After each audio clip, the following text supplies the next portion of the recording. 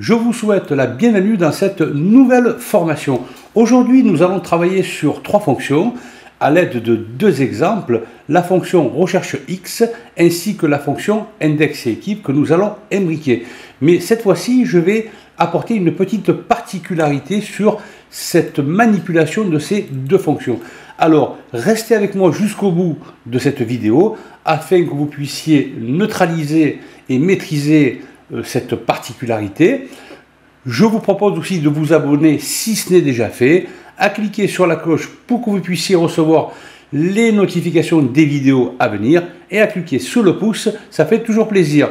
Je vous dis à tout de suite pour ces deux exercices.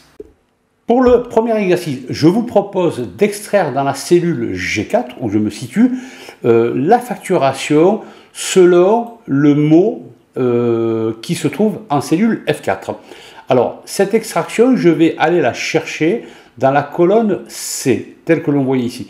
Alors, le souci, c'est que ici, j'ai par exemple le mot Adobe, et lorsque je vais dans cette plage de données, j'ai Adobe SAS. Alors, je vais pour l'instant tester euh, une petite expérience avec la recherche X. Donc, égale recherche X. Recherche X, valeur cherchée, c'est bien sûr le contenu de cette cellule, F4, point virgule. Le tableau de recherche, eh bien, c'est les données qui se trouvent dans la colonne C. Donc, je sélectionne la colonne C4, CTRL SHIFT touche directionnelle du bas, point virgule. Le tableau envoyé, c'est la facturation.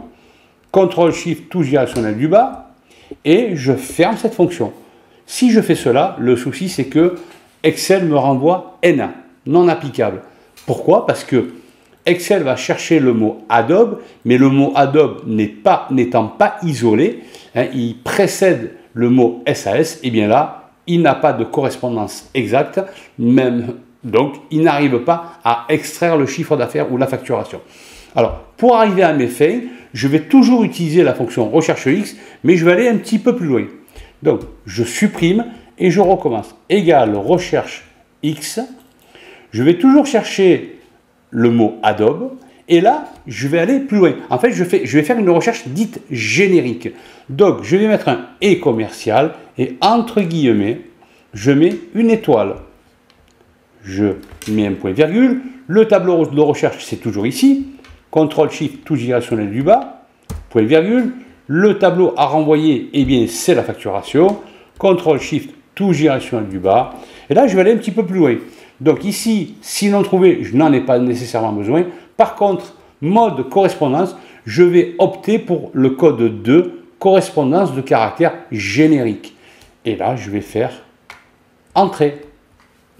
À partir de là, euh, le, la facturation où il y a le mot Adobe est bien renvoyée. Si par exemple je mets par exemple FOSS Limited ici, si je ne mets que FOSS bien sûr, je fais entrée, le chiffre d'affaires est bien renvoyé. Bien sûr, au même titre que si je mettais, hein, je reviens sur FOSS, FOSS Limited. Euh, est-ce que je l'ai bien écrit? Me semble-t-il que non. Limited. Je fais entrer, j'ai bien le même chiffre d'affaires. Donc je vais encore tester quand même Adobe, Adobe SAS. Voilà. Avec les recherches génériques, on peut beaucoup plus facilement travailler. Nous allons passer au deuxième exercice. Dans cet exercice, je souhaiterais renvoyer le chiffre d'affaires qui se situe dans cette plage de données selon le département, l'année et le mois. Alors, on peut constater que les départements sont à la en ligne et les années ainsi que les mois sont en colonne. Donc pour cela, je vais utiliser une imbrication de fonctions entre index et équive. Donc, je vais au préalable choisir la fonction index afin de lui donner le champ de bataille.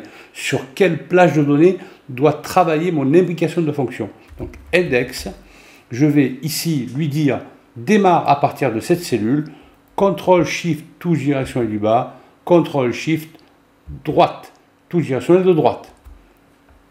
Point virgule. Alors, équive, ça va être, comme je l'ai expliqué tout à l'heure, les départements qui sont en ligne. Donc c'est pour ça que j'ai mis dans le numéro de ligne, euh, je vais aller chercher la fonction équive. Pourquoi? Parce que c'est aléatoire, c'est selon le département. Donc équive, je vais chercher le département qui se trouve ici, que je sélectionnerai ici, point virgule, où se trouve le tableau de recherche des départements? Eh bien c'est très simple, il se trouve ici, que je sélectionne. Point virgule, je souhaite une correspondance exacte, donc je vais mettre le code 0. Je ferme la fonction équipe pour revenir dans la fonction index afin de sélectionner la colonne. Mais là, attention, j'ai deux paramètres en colonne, comme j'ai expliqué tout à l'heure, l'année ainsi que les mois. Donc je vais aussi, comme ça va être aléatoire, selon que je mette l'année 2022 ou 2023, ou janvier, février ou mars. Donc ça va être totalement aléatoire. C'est pour cela que je vais de nouveau utiliser la fonction équive. Alors attention, là j'ai deux variables.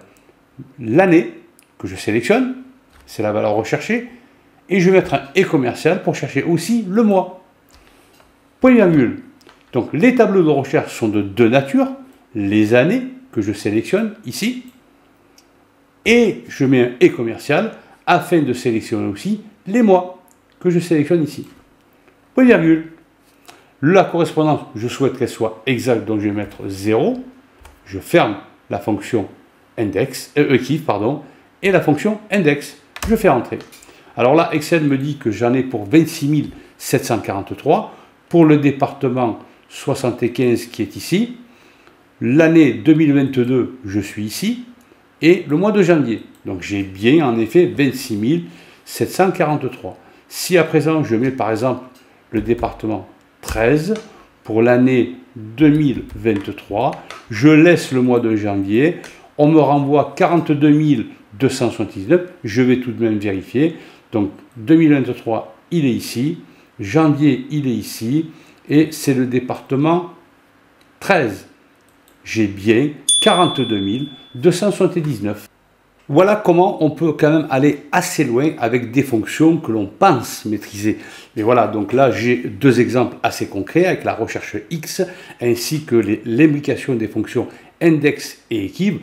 Donc je vous proposerai bien sûr de nouveaux exercices euh, à mettre en place hein, euh, pour pourquoi pas élaborer des tableaux de bord dans des vidéos à venir. Alors n'oubliez surtout pas de vous abonner si c'est déjà fait, à cliquer sur la cloche si vous souhaitez recevoir des notifications pour les vidéos à venir et surtout à cliquer sur le pouce. C'est pour le fun, ça fait plaisir et c'est gratuit. Quant à moi, je vous donne rendez-vous dans une prochaine vidéo. Je vous dis à bientôt.